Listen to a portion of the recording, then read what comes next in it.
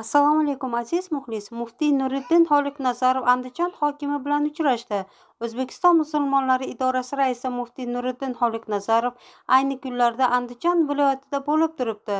Safarning dastlabki kunida muftiy hazratlari bo'ston tumanidagi markaziy jome masjidida juma namozini ado etdi. Asaka tumanida esa xatmi qur'on va taroveh namozida qatnashdi. Shuningdek muftiy nuriddin xoliqnazarov viloyat hokimi shuhratbek abdurahmonov bilan muloqotda bo'lib o'zaro fikr almashgan. Bugun shanba kuni o'zbekiston musulmonlari idorasi raisi andijon shahridagi bosh jome masjidida xatmi qur'on va taroveh namozini jamoat bilan ado etdi.